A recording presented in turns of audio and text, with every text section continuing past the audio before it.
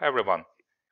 Uh, to remind you, EasyMorph Server is a data automation application uh, that can be used for ETL automation, data preparation, and now it can also be used for uh, uh as, as a web server for uh, serving uh, web requests. the API server functionality um, allows fast creation of API endpoints and uh, it allows processing uh, queries uh, with up to 100 queries per second. Uh, also, uh, the API server is um, is Git friendly. It supports versioning. it allows designing robust production ready APIs with zero downtime. And also uh, doing API testing is uh, quite convenient because you can do uh, you can design uh, EasyMorph workflows that will test uh, test your APIs. A few a few more words uh, where this API functionality can be used. you can use it for real-time integration with other applications where other applications will send HTTP requests to EasyMorph server and it will respond with, with the payload. Um, and basically this allows you to build APIs for anything that doesn't have an API. It can be a database, it can be a legacy application, or let's say a command line utility.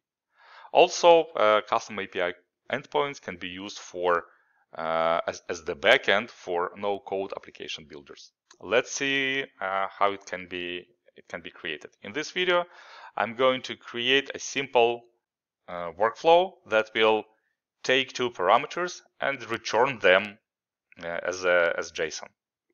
So I will start with uh, creating two parameters. I'll call them A and B. I'll give them some default values like that. And uh, let's create a JSON for, from them. So I'll use the parameter table action and in the table I will apply also the construct JSON action. Uh, uh, notice that the column name must be named uh, in a specific way. It must be response body.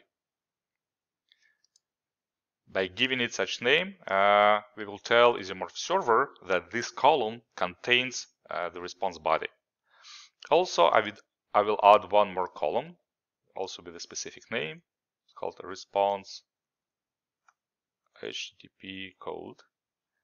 And it will be 200. 200 means, okay, that is a successful, successful response. There is no error here. Now I'm going to save this project. Send them API and I'm going to publish it to EasyMorph server. Publish it to EasyMorph server. Now let's go to EasyMorph server and create an endpoint. Uh, you can see there is a new tab in EasyMorph server which is called API endpoints. That's where the endpoints uh, are configured. The tab is uh, hidden by uh, by default, so you have to enable enable it in uh, in the space settings. To create a, an endpoint, press create endpoint.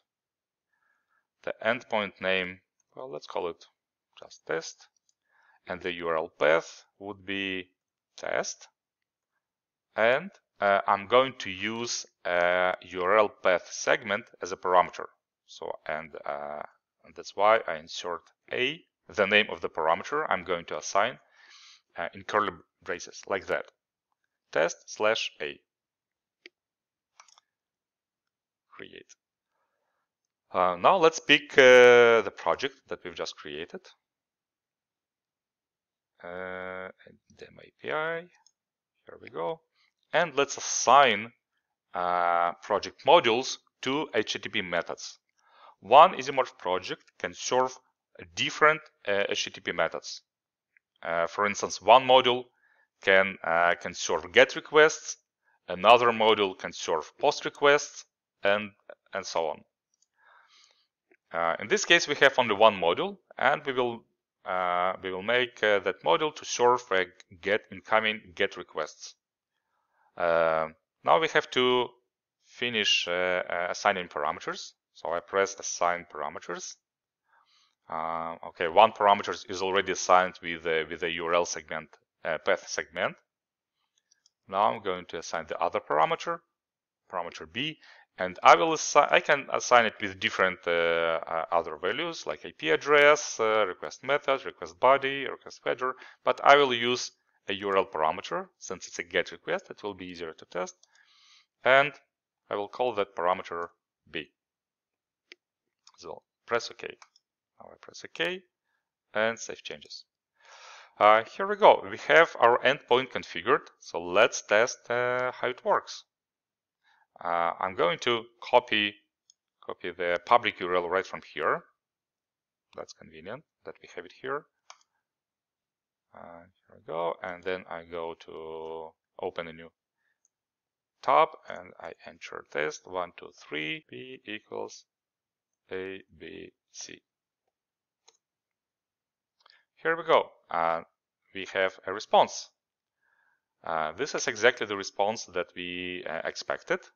So let's see if it actually works. Let's change it to something else. 4, 5, 6, X, Y, Z.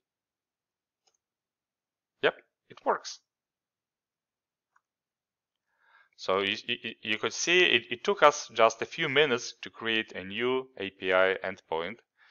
Uh, it's a simple uh, project, it's a simple logic, but um, uh, you can design way more complex uh, workflows that uh, interact with external applications, that construct more complex uh, JSON responses, that also use headers, configure headers, and do many advanced advanced things. That's it for today. Thank you.